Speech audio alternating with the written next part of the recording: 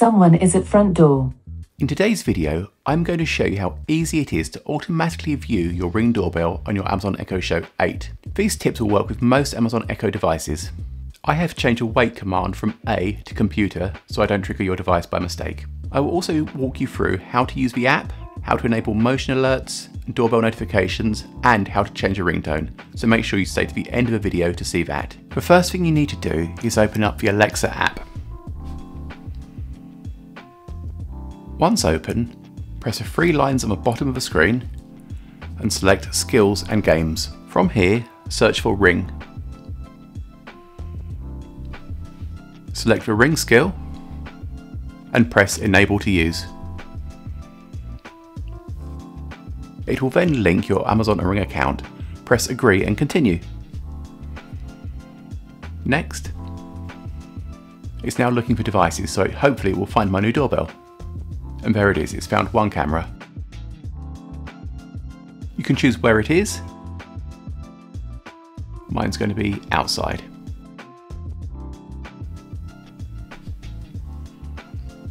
It's now set up and ready to use.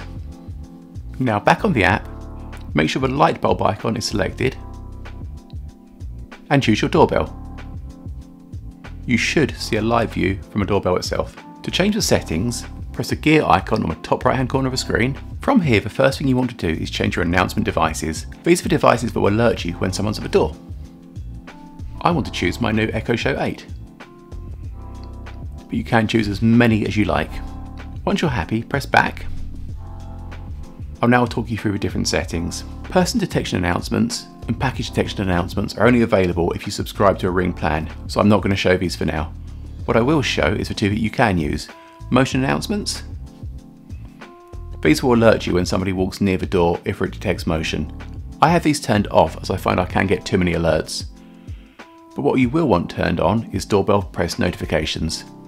This is the setting that will make the Echo alert you when someone's at the door. The last setting you want to change is the doorbell sound.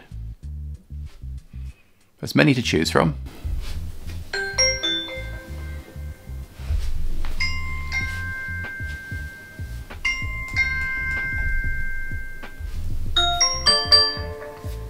but I keep mine on default. And you're done. Now let's test it to see if it's worked.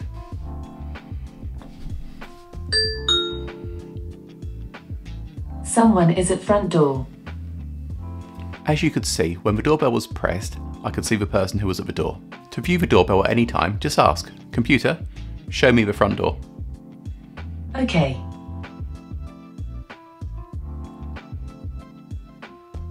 Once you're on the main screen, you can zoom into any area you want to see in more detail.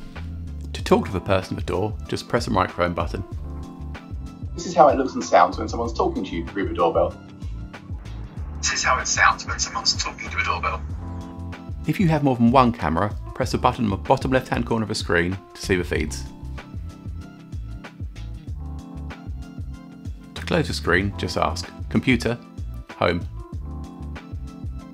You can also view the camera by touching the screen.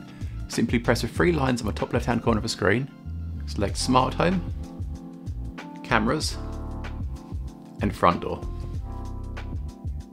I hope you found this video helpful.